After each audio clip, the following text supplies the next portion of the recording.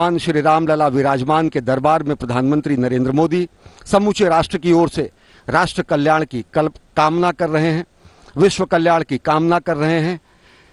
हमारी ही संस्कृति है जो कि वसुधैव कुटुंबकम कहती है हमारी ही संस्कृति है जो सर्वे भवंतु सुखिन सर्वे संतु निरामय का मंत्र जपती है हमारी ही संस्कृति है जो कि धर्म की जय हो अधर्म का नाश हो इसकी कामना करती है हमारी ही संस्कृति है जो विश्व के कल्याण की प्रार्थना करती है प्रधानमंत्री नरेंद्र मोदी श्री राम लला विराजमान के दरबार में दीप प्रज्वलित करके आराधना कर रहे हैं और एक अलख भी जगाई उन्होंने इस दीप के माध्यम से आप समझ सकते हैं कि एक अलख है जो जागी है समूचे राष्ट्र में राष्ट्र निर्माण की एक अलख जागी है आत्मनिर्भर भारत के निर्माण की एक अलख जागी है जगत गुरु भारत की संकल्पना को साकार करने की और प्रधानमंत्री नरेंद्र मोदी उसी अप्रतिम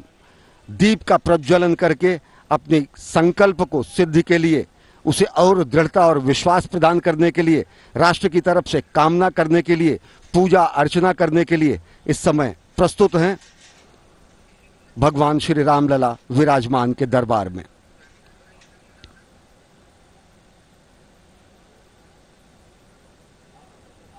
स्वामी सत्येंद्र दास जी ने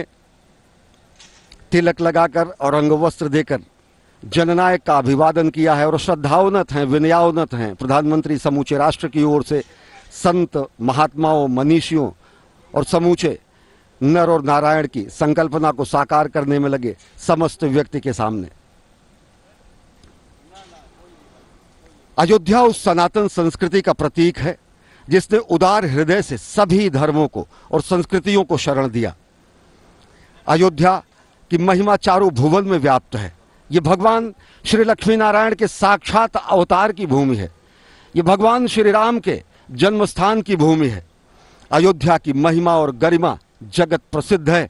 और आज जगत गुरु भारत की संकल्पना को अपने मन में सजोए और प्राण प्रण से अहरनिश प्रयासरत प्रधानमंत्री नरेंद्र मोदी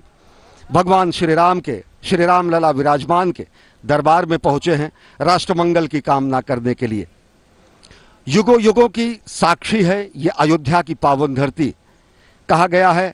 अयोध्या मथुरा माया काशी कांची अवंतिका पुरी द्वारावती चैव सप्तैते मोक्षदायिका मोक्षदायी नगरों में सर्वश्रेष्ठ स्थान हासिल है अयोध्या को विश्व प्रसिद्ध है भगवान श्री राम की नगरी अयोध्या और भगवान श्री राम रामलला विराजमान की परिक्रमा कर रहे हैं प्रदक्षिणा कर रहे हैं प्रधानमंत्री नरेंद्र मोदी राष्ट्रनायक नरेंद्र मोदी परिव्राजक नरेंद्र मोदी सन्यासी नरेंद्र मोदी स्वप्नद्रष्टा नरेंद्र मोदी और भारतीय संस्कृति के संवाहक अग्रदूत के रूप में नरेंद्र मोदी भारत भारतीयता के प्रतीक के रूप में नरेंद्र मोदी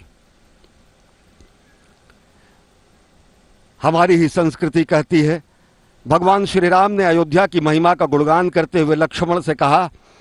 कि अपस्वर्णमयी लक्ष्मण अपस्वर्णमयी लंका मेना लक्ष्मण रोचते जननी जन्मभूमिश्च स्वर्गादपि गरीयसी जननी जन्मभूमि स्वर्ग से महान है और इसके लिए समर्पित तन मन और प्राण है इसी भावना को आत्मसात करते हुए प्रधानमंत्री नरेंद्र मोदी पहुँचे हैं भगवान श्री राम के श्री राम लला विराजमान के दरबार में आराधना की है रामचरितमानस में गोस्वामी तुलसीदास जी ने उन्होंने कहा कि श्री रामचंद्र कृपाल भजुमन हरण भव भय दारुणम नवकंज लोचन कंज मुख कर कंज पद कंजारुणम कंदर्प अगणित अमित छवि नवनील नीरद सुंदरम पतपीट मानहु तड़ित रुचि सुचि नवमी जनक सुतावरम राष्ट्रमंगल की कामना विश्व कल्याण की कामना जगत गुरु भारत की संकल्पना को साकार करने की संकल्प की सिद्ध के दृढ़ता और विश्वास को और प्रगल और प्रगाढ़ करने के लिए प्रधानमंत्री नरेंद्र मोदी पहुंचे हैं श्री रामलला विराजमान के दरबार में और उत्तर प्रदेश की राज्यपाल आनंदीबेन पटेल इस समय श्री रामलला विराजमान का पूजन अर्चन और आरती करते हुए और इस समय सहगामी हैं सहचर हैं उत्तर प्रदेश के मुख्यमंत्री योगी आदित्यनाथ प्रधानमंत्री नरेंद्र मोदी के साथ प्रधानमंत्री नरेंद्र मोदी जो कि भारत भारतीयता के ध्वजवाहक हैं प्रधानमंत्री नरेंद्र मोदी जो कि सनातन संस्कृति के इस संक्रांति काल के अग्रदूत हैं प्रधानमंत्री नरेंद्र मोदी जो कि नर और नारायण दोनों की सेवा में अहरनिश प्राण प्रण से जुटे हुए हैं प्रधानमंत्री नरेंद्र मोदी जो कि परिव्राजक सन्यासी निर्विकार और निर्लिप्त भाव से राष्ट्र निर्माण में अपने समस्त कार्यों का अर्पण करने पहुँच करते हैं प्रधानमंत्री नरेंद्र मोदी पहुँचे हैं आराधना करने के लिए वंदना करने के लिए श्री रामलला विराजमान के दरबार में कहा गया है स्वर्णमयी लंका न मिले माँ अवधपुरी की धूल मिले सोने में कांटे चुभते हैं मिट्टी में है फूल खिले जब ये भावना होती है जब ये तपश्चर्या होती है जब ये संकल्प होता है तभी ऐसे राष्ट्र पुरुषों का निर्माण होता है जिन्होंने आजीवन इस मंत्र का जाप किया कि इंद्रासन वैभव नहीं प्यारा माता की गोदी प्यारी नमो नमो जग जननी माता कण कण परसुत बलिहारी पुष्पों की शैया न मिले माँ कदम कदम पर शूल मिले सोने में कांटे चुभते हैं मिट्टी में हैं फूल खिले स्वर्णमयी लंका न मिले माँ अवधपुरी की धूल मिले मर्यादा पुरुषोत्तम भगवान श्री राम ने अवधपुरी की धूल को स्वर्ण के सुखों से भी ज़्यादा श्रेयस्कर माना और साथ ही साथ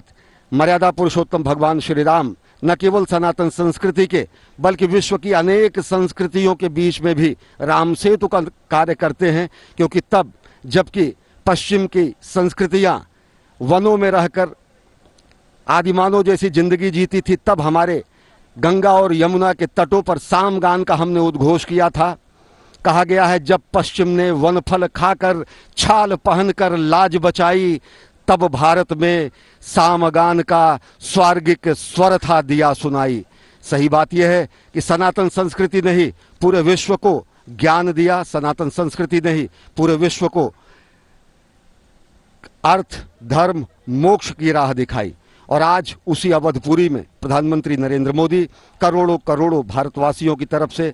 प्रधानमंत्री नरेंद्र मोदी पहुंचे हैं भगवान श्री राम रामलला विराजमान के दरबार में और साथ ही साथ अभी उन्होंने पूजा अर्चना की है पुष्पांजलि अर्पित की है उन्होंने दीपांजलि अर्पित की है और इसके बाद वो कार्यांजलि जो राष्ट्र द्वारा अर्पित की जा रही है भगवान श्री राम के दिव्य भव्य मंदिर के निर्माण की जो हार्दिश प्रक्रिया 5 अगस्त सन 2020 से जारी है और जिसका सौभाग्य जहां भूमि पूजन करने का सौभाग्य भी प्रधानमंत्री नरेंद्र मोदी को मिला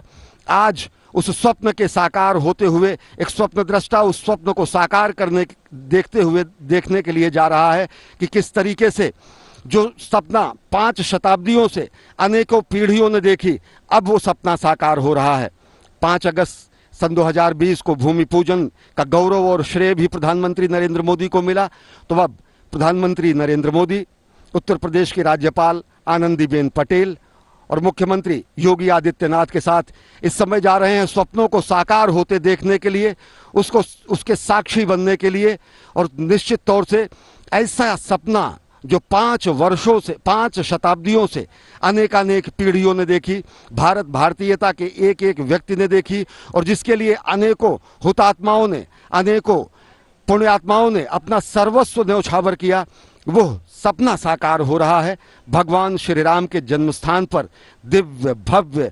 नव्य मंदिर का निर्माण हो रहा है ये केवल मंदिर ही नहीं है अयोध्या की महिमा और गरिमा के अनुरूप किया जा रहा निर्माण है ये केवल मंदिर ही नहीं है भारत भारतीयता का प्रतीक है ये केवल एक मंदिर ही नहीं है समूचे विश्व को सनातन संस्कृति और भारत भारतीयता के की तरफ से दिया जा रहा अनुपम उपहार है और उसी के दृष्टा बनने के लिए उसी का साक्षात करने के लिए उसी के साक्षी बनने के लिए प्रधानमंत्री नरेंद्र मोदी इस समय पहुंचे हैं भगवान श्री राम लला विराजमान के मंदिर के परिसर में जहां पर जन्म स्थान पर दिव्य भव्य नव्य मंदिर का निर्माण हो रहा है हरि अनंत हरि कथा अनंता रामचंद्र के चरित सुहाए कलप कोटि लगी जाहि निगाए भगवान श्री राम की महिमा को अनेकों कोटि कोटि कल्पों तक भी बखाना नहीं जा सकता और ये भगवान श्री राम द्वारा प्रदत्त किया गया निमित्त किया गया वह कार्य है जिसकी प्रतिपूर्ति प्रधानमंत्री नरेंद्र मोदी कर रहे हैं इस समय श्री राम जन्मभूमि तीर्थ क्षेत्र के पदाधिकारी और भगवान श्री राम के इस दिव्य भव्य मंदिर के निर्माण में लगी एजेंसियां जिसमें टीसीएस लॉर्सन एंड ट्रूब्रो और अन्य अनेक वैज्ञानिक शोध संस्थाओं के परामर्श के बाद इस विशद कार्य को जो निर्माण दिया जा रहा है वो इस समय स्वागत कर रहे हैं श्री राम जन्मभूमि तीर्थ क्षेत्र के पदाधिकारी और साथ ही साथ इस पूरे सपने को साकार करने में जुटे हुए हमारे कर्मवीर हमारे श्रमजीवियों के प्रतिनिधि और साथ ही साथ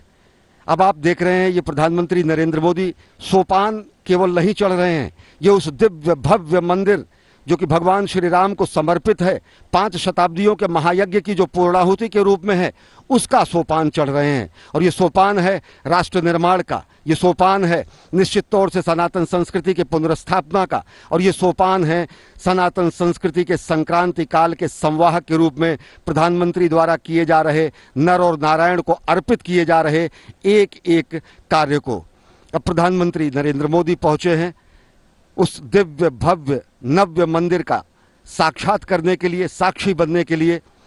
जिसके भूमि पूजन करने का गौरव प्रधानमंत्री नरेंद्र मोदी को 5 अगस्त 2020 को मिला नृपेंद्र मिश्र जो कि मंदिर श्री राम जन्मभूमि तीर्थ क्षेत्र में मंदिर निर्माण समिति के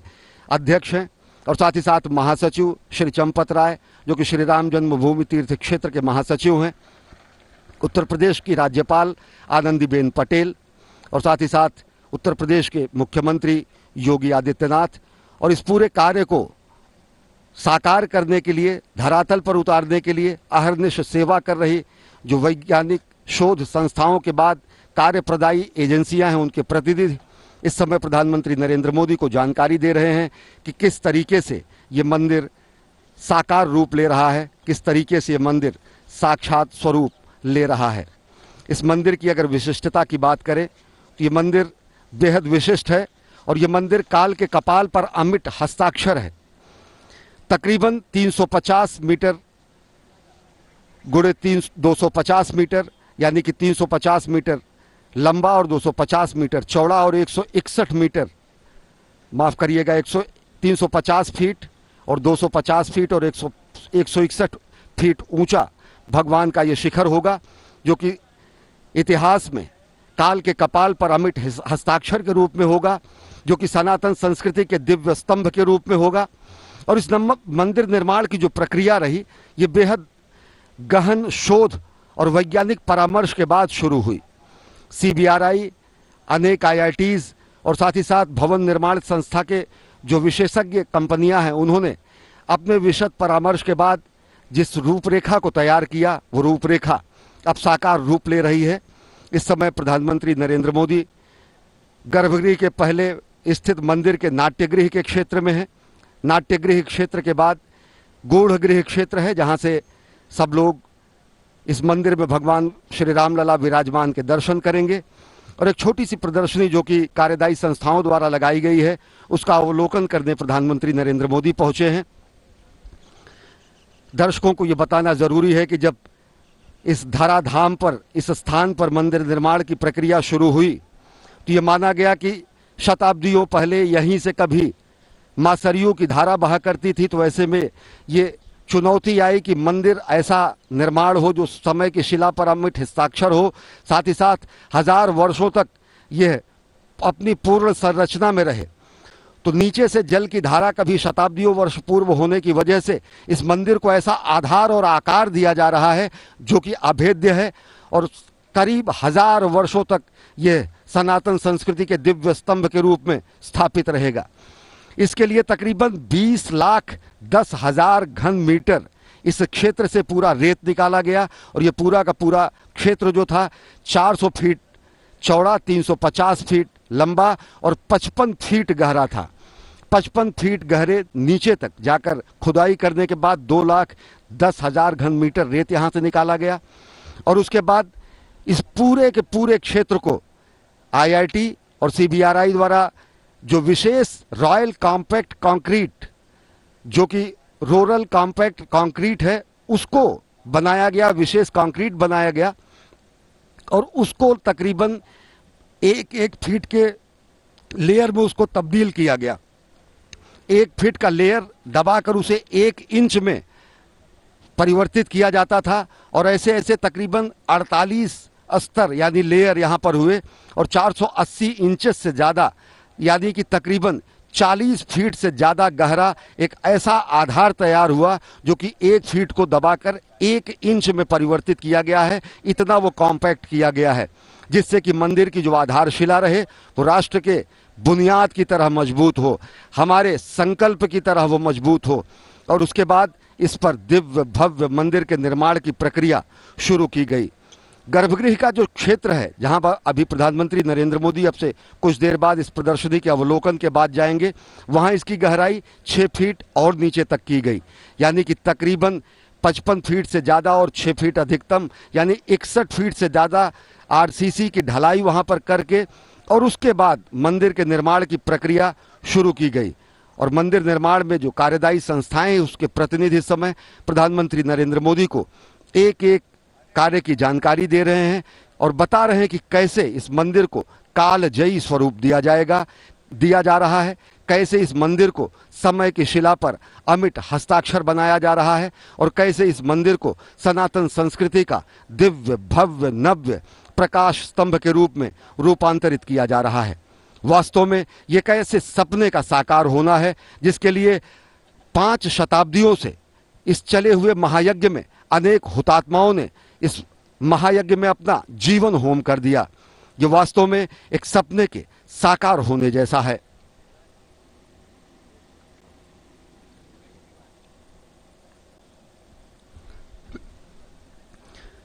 मंदिर निर्माण के इस पूरे क्षेत्र की अगर बात करें तो इस पूरे इकसठ फीट के आरसीसी के ढलाई के बाद इस मंदिर क्षेत्र में पांच फीट का दो लेयर्स हैं और ऐसे ग्रेनाइट के प्लिंथ बनाए गए हैं जिस अभी जो सीढ़ियाँ चढ़कर प्रधानमंत्री नरेंद्र मोदी आए वो ऊंचाई उन्हें प्लिंथ की है और ये तकरीबन पाँच दशमलव पाँच गुड़े तीन दशमलव पाँच गुड़े दो दशमलव पाँच फीट यानी इनका वजन तकरीबन एक एक पत्थर का वजन साढ़े तीन टन से ज़्यादा है और इन पत्थरों को आपस में फंसाकर जो कि प्राचीन काल के मंदिर के निर्माण में जो तकनीक स्थापित की जाती थी उसी आधार से पत्थरों को आपस में जोड़कर एक ऐसा प्लिंथ बनाया गया है जो वो ग्रेनाइट का प्लिंथ है और उसके ऊपर फिर भव्य दिव्य मंदिर का निर्माण हो रहा है यानी कि तकरीबन इकसठ फीट का आधार स्तंभ कंक्रीट का आरसीसी और उसके ऊपर 21 फीट की ऊंचाई का प्लिंथ और फिर उस प्लिंथ के ऊपर इस समय उस आधार के ऊपर इस समय प्रधानमंत्री नरेंद्र मोदी खड़े हैं जहां पर अब भव्य दिव्य मंदिर का निर्माण कर चल रहा है और अब जो मंदिर में निर्माण में पत्थर प्रयुक्त हो रहे हैं वो बंशी पहाड़पुर के गुलाबी पत्थर लाल बलुआ पत्थर हैं जो कि राजस्थान के भरतपुर जिले के बयाना से लाए जाते हैं और इस समय कार्यदायी संस्थाओं के प्रतिनिधि प्रधानमंत्री नरेंद्र मोदी को विस्तार से बता रहे हैं कि कैसे इस मंदिर को समय की शिला पर अमिट हस्ताक्षर के रूप में इतिहास में एक अमर गाथा के रूप में सनातन संस्कृति के प्रकाश स्तंभ के रूप में और साथ ही साथ भारतीयता भारत और भारतीयता के गौरव के रूप में स्थापित किया जा रहा है और सही मायने में ये कार्यांजलि है श्रद्धांजलि है ऐसे अनेक वीर हुतात्माओं को जिन्होंने इस मंदिर निर्माण के महायज्ञ में अपने जीवन को होम कर दिया जिन्होंने बलिदान कर दिया अपनी पीढ़ियों को और ये कई सात पाँच शताब्दियों से अनेकानेक पीढ़ियों के सपनों के साकार होने का दिन है और उन सपनों को साकार होने का साक्षात अनुभव समूचा राष्ट्र कर रहा है संस्कृति के संवाहक भारत भारतीयता के ध्वजवाहक और साथ ही साथ प्रधानमंत्री जननायक के रूप में इस समय देख रहे हैं और जो मंदिर निर्माण की अभी मैं जिसकी चर्चा कर रहा था कि जिस तरीके से हमारे प्राचीन काल में मंदिरों में पत्थरों को आपस में दूसरे पत्थरों को जोड़ने के लिए बीच में एक वृत्त बनाकर और पत्थरों से ही उनको जोड़ दिया जाता था कहीं भी इस पूरे मंदिर में सीमेंट का इस्तेमाल नहीं हो रहा है और पत्थरों को पत्थरों से ही जोड़ा जा रहा है आप देख सकते हैं कि किस तरीके से उस छोटे से पत्थर में दूसरे शिलाखंड को फंसाया गया है और इसका सबसे बड़ा लाभ ये होता है कि भूकंप आने की कैसी भी स्थिति में किसी भी कंपन और दोलन की स्थिति में ये पत्थर एक दूसरे से हटते नहीं हैं और जो निर्माण कार्य है वह अहरनिश और निरंतर चिरस्थायी रूप में विद्यमान रहता है ऐसे मंदिरों का निर्माण ऐसी तकनीक का निर्माण शताब्दियों पहले दक्षिण भारत के मंदिरों में उत्तर भारत के मंदिरों में विशद रूप से की गई और जिससे पत्थरों को पत्थरों से ही जोड़ा गया है और जिसमें कंक्रीट या लोहे का कहीं भी किसी तरीके का इस्तेमाल नहीं किया गया है रामशिलाओं का पूजन का वो दिन भी भारत भारतीयता के लोगों को याद होगा भारतवासियों को याद होगा जब रामशिला पूजन और राष्ट्र निर्माण के राष्ट्र मंदिर के इस निर्माण का आंदोलन चला था जिसमें सहगामी थे प्रधानमंत्री नरेंद्र मोदी तत्कालीन भाजपा के वरिष्ठ नेता लाल कृष्ण आडवाणी जी के साथ सोमनाथ से अयोध्या की उस यात्रा के भी आप सहभागी रहे और साथ ही साथ आपको गौरव हासिल हुआ आज यहाँ पाँच अगस्त 2020 को इस स्थान पर पवित्र स्थान पर भूमि पूजन का और राष्ट्र की तरफ से राष्ट्र को एक कार्यांजलि प्रस्तुत करने का एक ऐसे स्वप्न को साकार करने का भी आपको गौरव प्राप्त हो रहा है और उसी स्वप्न को साकार होता देख रहे हैं प्रधानमंत्री नरेंद्र मोदी कि किस तरीके से दिव्य भव्य नव्य सनातन संस्कृति के दिव्य प्रकाश स्तंभ का निर्माण किया जा रहा है अगर देखें तो आधुनिक अयोध्या अलौकिक अयोध्या आध्यात्मिक अयोध्या इसके भी निर्माण की प्रक्रिया सतत जारी है अहरनिश जारी है अयोध्या की आत्मा को समेटकर मूल आत्मा को सजोकर आधुनिकता के कलेवर में चिर पुरातन नित नूतन अयोध्या के निर्माण का कार्य जारी है और ये कैसा निर्माण का कार्य है ये कैसा कायांतरण का कार्य है ये कैसा रूपांतरण का कार्य है जो अयोध्या की गरिमा और महिमा के अनुरूप हो रहा है प्रधानमंत्री नरेंद्र मोदी इस समय अवलोकन कर रहे हैं समूचे मंदिर परिसर का समूचे हो रहे निर्माण कार्यों का अभी जहां प्रधानमंत्री नरेंद्र मोदी हैं इससे आगे गर्भगृह का वो क्षेत्र है जहां पर भगवान श्री राम लला विराजमान होंगे जो भगवान श्री राम का जन्म स्थान है जो भगवान श्री राम के जन्म स्थान के लिए किए गए महायज्ञ के महासंकल्प की सिद्धि का स्थान है जो अनेकानेक पुण्यात्माओं हुतात्माओं के लिए एक ऐसा बलिदान का स्थान है जिसके लिए भारत भारतीयता और सनातन संस्कृति ने अपने गुलामी के जंजीरों को तोड़ते हुए गुलामी के प्रतीकों को तोड़ते हुए अपनी सनातन संस्कृति की पुनर्स्थापना की इस समय प्रधानमंत्री नरेंद्र मोदी विशेषज्ञों से बात करके उनसे जानकारी हासिल करके मंदिर निर्माण की प्रक्रिया में जो अन्य आवश्यक चीज़ें हैं उनको भी समझ रहे हैं और उनको समझा रहे हैं ये बताना आवश्यक है क्योंकि इस तरीके के जो भी विशद दिव्य भव्य निर्माण होते हैं चाहे वो केदारपुरी का निर्माण हो चाहे वो काशी कॉरिडोर के विश्वनाथ काशीधाम विश्वनाथ धाम के का निर्माण हो या फिर भगवान श्री राम के दिव्य भव्य मंदिर का निर्माण हो प्रधानमंत्री कार्यालय द्वारा इन सभी निर्माण कार्यों की विशद समीक्षा की जाती है और दिशा निर्देश जारी किए जाते हैं जिससे कि इस मंदिर को आध्यात्मिकता के अनुसार साथ आध्यात्मिकता के साथ साथ आधुनिकता के स्तंभ के रूप में भी स्थापित किया जा सके ये मंदिर परिसर के बाद तकरीबन 25 फीट बाद ये मंदिर का मुख्य क्षेत्र है जहां पर इस समय प्रधानमंत्री नरेंद्र मोदी हैं और प्रधानमंत्री नरेंद्र मोदी इस समय अग्रसर हो रहे हैं भगवान श्री राम लला विराजमान के भाभी मंदिर के गर्भगृह की तरफ परंपरा के अनुसार श्रद्धा के अनुसार वो इस समय प्रधानमंत्री नरेंद्र मोदी पहुंच रहे हैं गर्भगृह की तरफ हस्त प्रक्षालन और अपनी पादुका को से निवृत्ति पाने के बाद इस समय एक बार फिर भावी दिव्य भव्य धाम के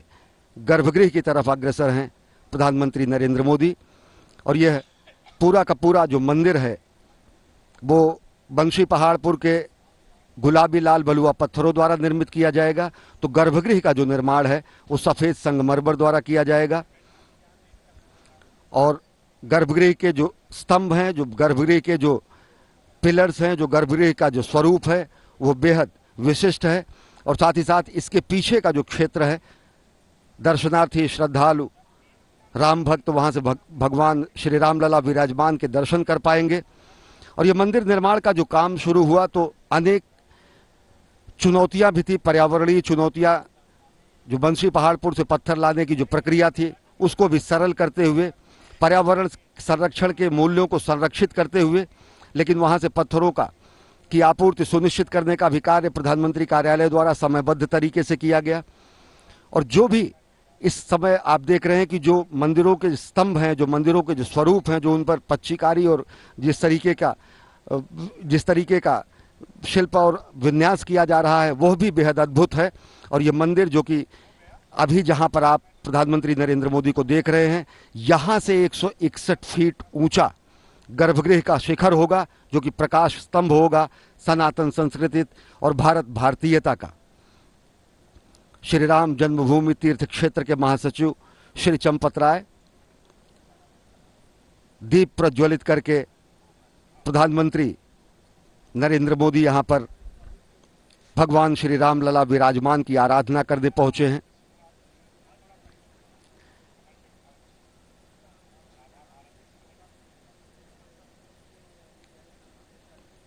प्रधानमंत्री नरेंद्र मोदी सौभाग्यशाली हैं क्योंकि भूमि पूजन का भी उन्हें सौभाग्य मिला और इस दिव्य भव्य मंदिर का साक्षात दर्शन करने पहुंचे हैं कि किस तरीके से संकल्प की सिद्धि हो रही है और किस तरीके से इस समय भव्य राष्ट्र निर्माण के साथ भव्य मंदिर निर्माण की भी प्रक्रिया जारी है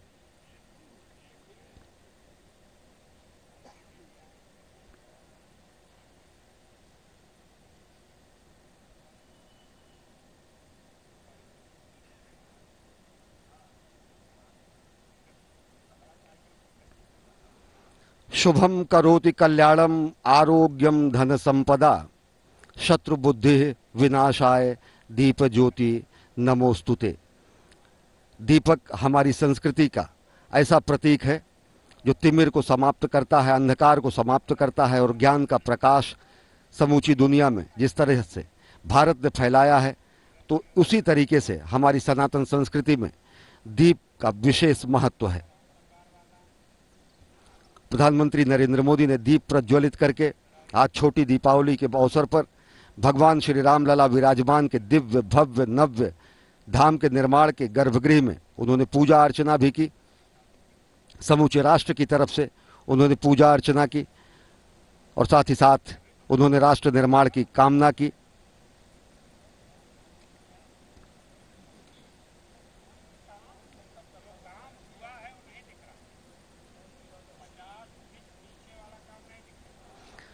प्रधानमंत्री नरेंद्र मोदी जब राष्ट्र निर्माण की कामना करते हैं तो वो समूचे राष्ट्र का आह्वान करते हैं युवाओं का आह्वान करते हैं श्रमजीवियों का आह्वान करते हैं कर्मजीवियों का आह्वान करते हैं कि लोग राष्ट्र निर्माण में जुटे शत शत दीप इकट्ठे होंगे अपनी अपनी चमक लिए अपने अपने त्याग तपस्या श्रम संयम की दमक लिए निश्चित तौर से एक दीप जलाने की परंपरा एक व्यक्ति द्वारा की जाए और अगर इसी परंपरा को हर व्यक्ति द्वारा बढ़ाया जाए तो कहीं भी अंधेरा नहीं रहे कहीं भी तिमिर न रहे कहीं भी अंधकार न रहे और जो हमने संकल्पना जो हमारा मंत्र है कि अस्तो माँ सदगमय तमसो माँ ज्योतिर्गमय मृत्योर माँ अमृतम गमय यानी कि हम असत से सत की ओर चलें और मृत्यु से अमरता की ओर चले अज्ञानता से ज्ञान की ओर चले और सबसे बड़ी बात यह कि हम राष्ट्र निर्माण में प्राण प्रण से जुट जाएं।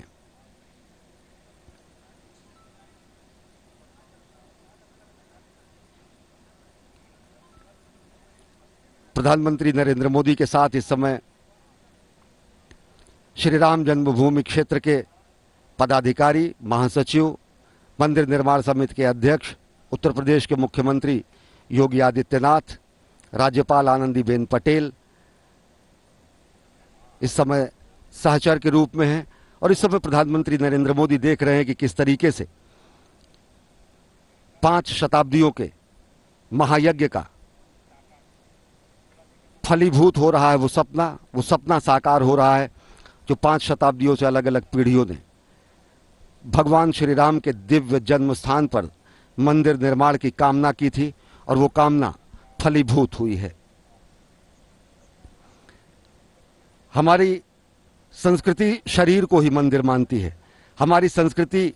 विश्व को मंदिर मानती है हमारी संस्कृति देश को मंदिर मानती है हमारी संस्कृति व्यक्ति व्यक्ति को मंदिर मानती है हमारी संस्कृति देश की माटी को चंदन मानती है हमारी ही संस्कृति कहती है चंदन है इस देश की माटी तपोभूमि हर ग्राम है हर बाला देवी की प्रतिमा बच्चा बच्चा राम है मृदपिच चंदन अस्मिन देशे ग्रामो ग्राम सिद्ध वनम यत्र च बाला देवी स्वरूपा बाला सर्वे श्री रामा यानी कि चंदन है इस देश की माटी हर बाला देवी की प्रतिमा बच्चा बच्चा राम है हर शरीर मंदिर सा पावन हर मानव उपकारी है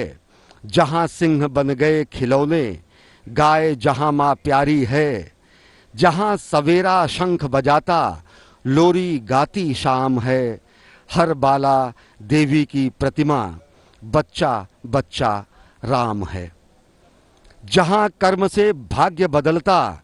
श्रम निष्ठा कल्याणी है त्याग और तप की गाथाएं गाती कवि की वाणी है ज्ञान जहां का गंगा जलसा निर्मल है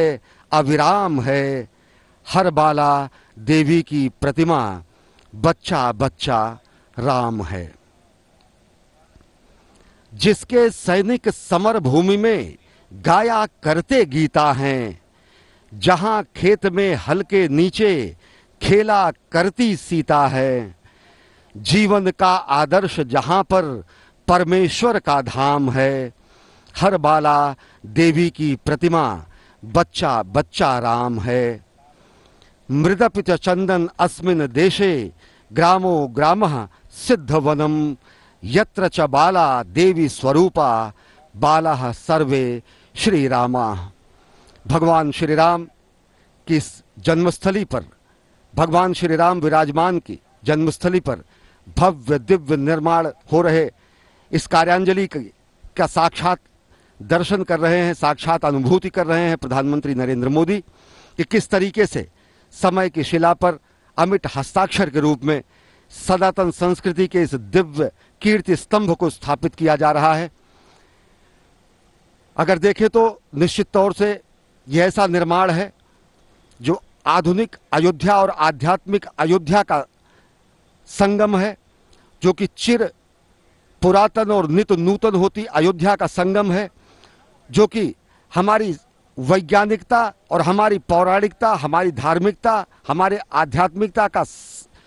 समावेश है क्योंकि इस मंदिर निर्माण में अनेक अनेक ऐसे वैज्ञानिक तथ्यों और ऐसे वैज्ञानिक तकनीकों का इस्तेमाल किया जा रहा है कि जिससे इस मंदिर को चिरस्थाई और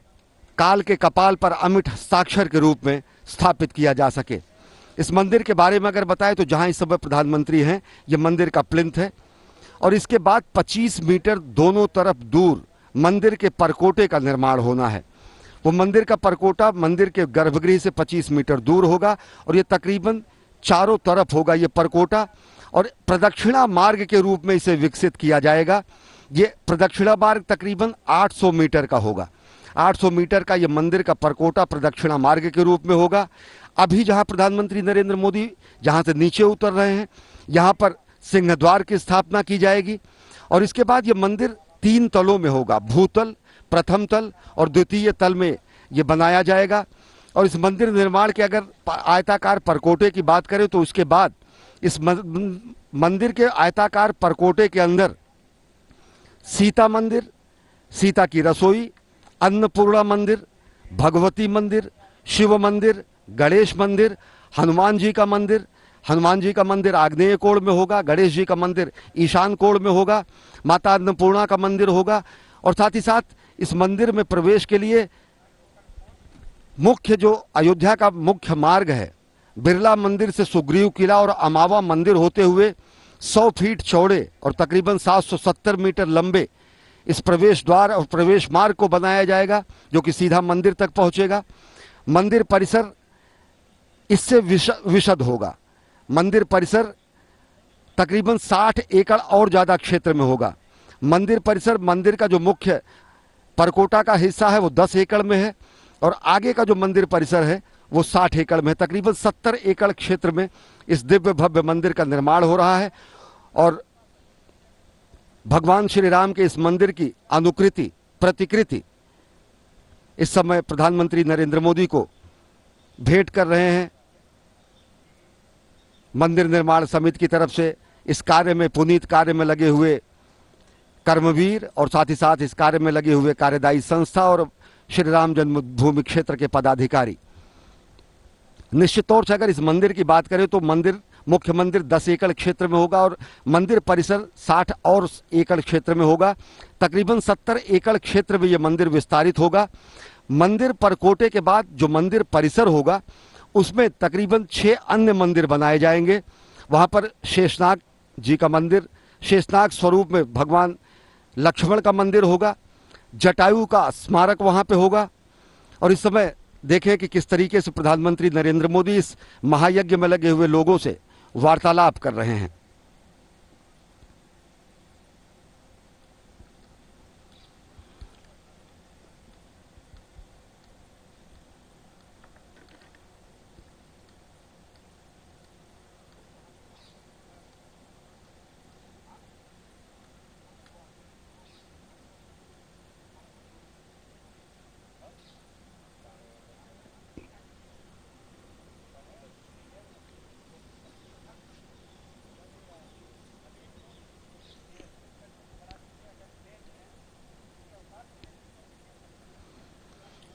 प्रधानमंत्री नरेंद्र मोदी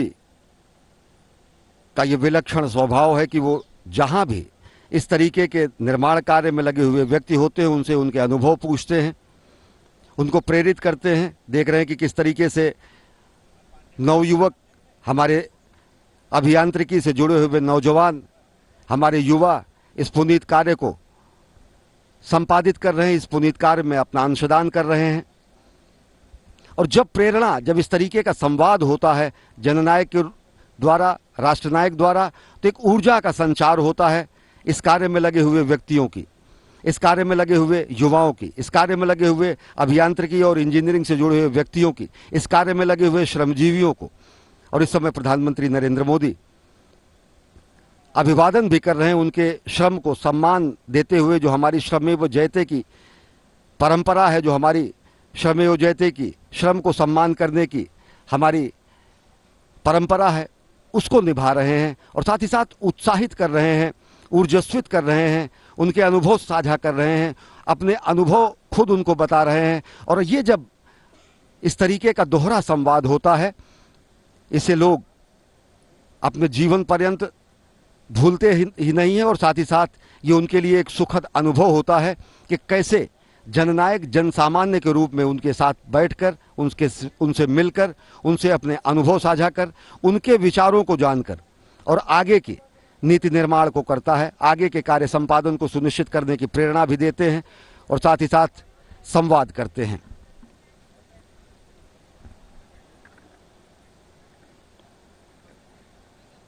अलहदा संवाद शैली और विलक्षण व्यक्तित्व है प्रधानमंत्री नरेंद्र मोदी का जब वो किसी भी विशेष कार्य में लगे हुए लोगों से चाहे वो इंजीनियर हो चाहे वो कर्मजीवी हो चाहे वो श्रमजीवी हो चाहे वो हमारे नवयुवक हों चाहे किसी पुनीत कार्य में संलग्न हमारे युवा हों उनसे संवाद करते हैं और प्रधानमंत्री नरेंद्र मोदी ने संवाद किया मंदिर निर्माण में लगी कार्यदायी संस्थाओं के नवयुवकों से इंजीनियरों से अभियांत्रिकी क्षेत्र से जुड़े हुए लोगों से और साथ ही साथ उन्हें प्रेरणा दी और ये एक प्रेरणादायक क्षण होता है युवाओं के लिए समूचे राष्ट्र के लिए और साथ ही साथ एक ऊर्जा से भर देता है लोगों का मन और मस्तिष्क कि किस तरीके से जननायक जनसामान्य के रूप में उनसे बातचीत करके संवाद करके उनकी स्थितियों को जान के अपने अनुभव साझा करके आगे का मुख्य मार्ग आगे की कार्यशैली को प्रशस्त करते हैं और आगे के कार्यों को बेहतर करने की प्रेरणा देते हैं इस समय प्रधानमंत्री नरेंद्र मोदी श्री राम जन्मभूमि मंदिर क्षेत्र के परिसर में हैं जहां पर दिव्य भव्य मंदिर का निर्माण हो रहा है और विलक्षण क्षण है ये आज अयोध्या के लिए भी क्योंकि अयोध्या में भगवान श्री राम के जन्म स्थान का होने का गौरव प्राप्त है भगवान श्री लक्ष्मी नारायण के अवतार की ये धरती है अयोध्या जो कि समय की शिला पर स्वर्णम हस्ताक्षर है अयोध्या जो कि संस्कृति और सभ्यता का शीर्ष बिंदु है अयोध्या जहाँ के रोम रोम में राम हैं जहाँ के कण कण में लक्ष्मण हैं जहाँ के जन जन में भरत हैं तो साक्षात विघ्नहारक शत्रुघ्न भी यहाँ विराजमान है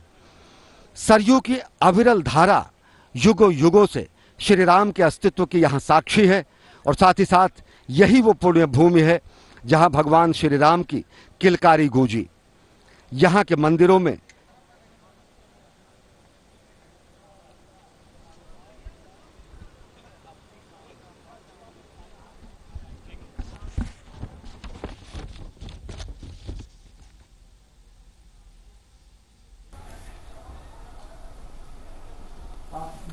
और ये दृश्य आप देख रहे हैं उस वक्त के जब प्रधानमंत्री नरेंद्र मोदी ने राम जन्मभूमि तीर्थ स्थल का दौरा किया बारीकी से निरीक्षण करते हुए प्रधानमंत्री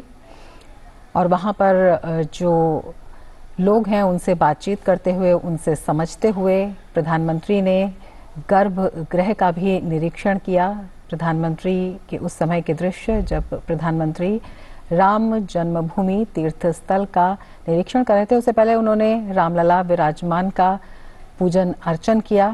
और उसके बाद गर्भगृह में भी प्रधानमंत्री वहाँ पर गए और वहाँ पर उनके साथ मुख्यमंत्री योगी आदित्यनाथ और राज्यपाल भी मौजूद थे और मंदिर निर्माण से जुड़े तमाम लोग उनके साथ मौजूद प्रधानमंत्री ने पूरी परंपरा के अनुसार दर्शन किए उसके बाद निरीक्षण किया उस स्थल का न केवल निरीक्षण किया प्रधानमंत्री ने वहां पर हो रहे कार्यों का जायजा लिया उन्हें समझा कि किस तरह से ये कार्य आगे बढ़ रहे हैं और ये दृश्य अपने आप में दिखाते हैं प्रधानमंत्री की श्रद्धा भक्ति और जिजीविशा जिस तरह से इस पूरी प्रक्रिया में प्रधानमंत्री लगे रहे और उसके बाद संकल्प से सिद्धि का ये क्षण आया और लगातार जो है ये काम आगे बढ़ रहा है उसका स्वयं निरीक्षण करते हुए प्रधानमंत्री वहाँ पर बारीकियों को समझते हुए वहाँ पर जो तकनीकी है उसको समझते हुए जो आधुनिक वास्तुशिल्प है वो भी ऐसा बने जो युगों युगों तक स्मरणीय रहे कहा जा रहा है कि इस तरह की तकनीक का उपयोग किया जा रहा है जो किसी भी आपदा रोधी तकनीक से युक्त होगा तो अपने आप में